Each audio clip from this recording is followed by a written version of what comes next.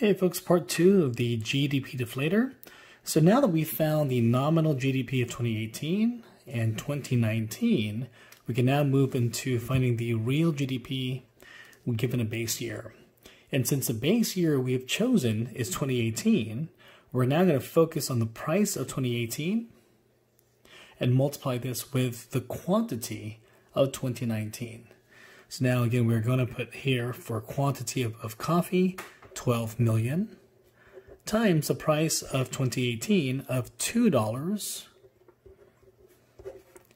plus the number of donuts in 2019, 7 million, times the price of donuts in 2018 at $1. And when we calculate both coffee and donuts, we get 24 million for coffee plus 7 million for donuts for a total of 31 million. And this represents the real GDP with a base year of 2018.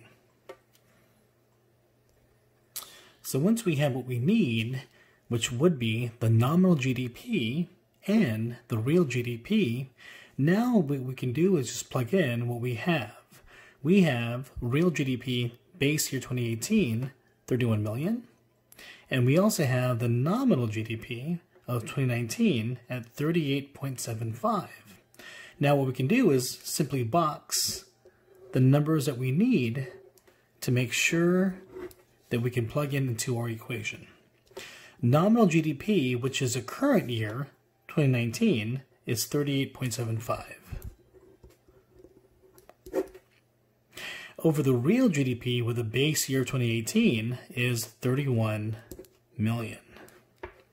And now we can calculate the GDP deflator. So the answer becomes 1.25 times 100 times 100 to give us a deflator of 125 as the final answer. So now the question is, what does 125 mean? Well, if we look at a number line, we can then see what 125 means. Here we have a number line, and in between we have 100. Let's say if the answer is 50, this tells us that the price level growth this year is half of what it was last year with a deflator of 50. If our answer instead is 200, this means that the price level growth this year is twice as much as it was last year. But since our answer is 125, 125, this means that the economy, its price level, its growth, is 25% more than it was last year.